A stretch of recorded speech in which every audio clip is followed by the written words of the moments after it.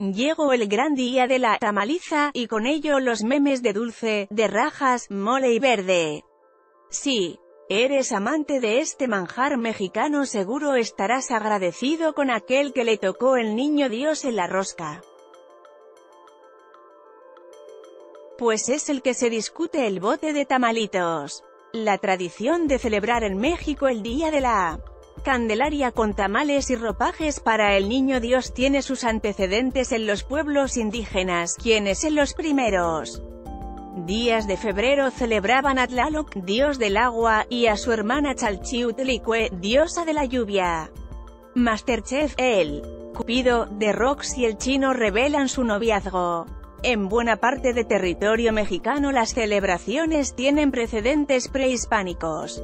Y con su llegada a Mesoamérica, los españoles notaron que los pueblos originarios celebraban la fiesta de los telaloques al inicio del ciclo agrícola. Esta ceremonia ancestral coincidía con el Día de la Candelaria, que se celebra cada 2 de febrero del calendario católico y que conmemora la purificación de la Virgen María y la presentación del Niño Jesús en el templo. Algunos pueblos originarios bendicen este día las mazorcas que van a servir de semillas para la próxima temporada de siembra, en tanto que para algunos otros se trata de realizar labores de purificación.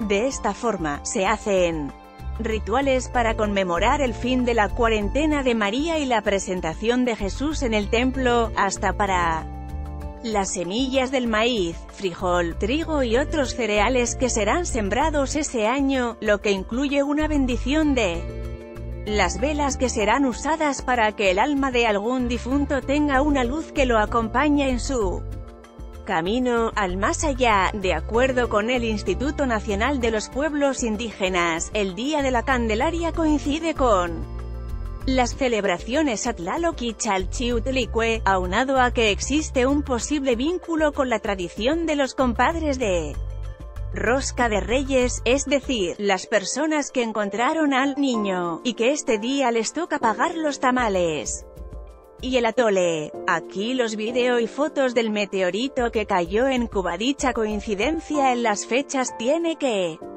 ver con la fiesta Huauquiltamalcualiztli, que se realizaba a la mitad del decimoctavo y último mes del año Izcalli, cuando se comían tamales en cada casa de todos los pueblos, donde se convidaban unos a otros. Así, en el día de la Candelaria usualmente se celebra con tamales, tamayi, en agua, alimento protagonista de la, la festividad con la que se dan por terminadas las festividades decembrinas.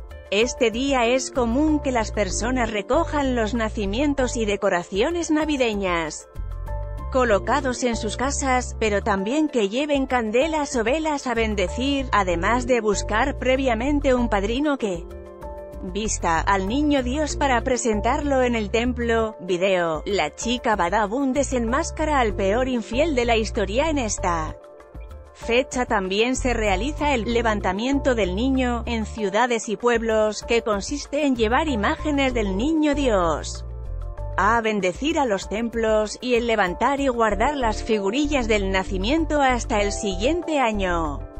Con información de Notime.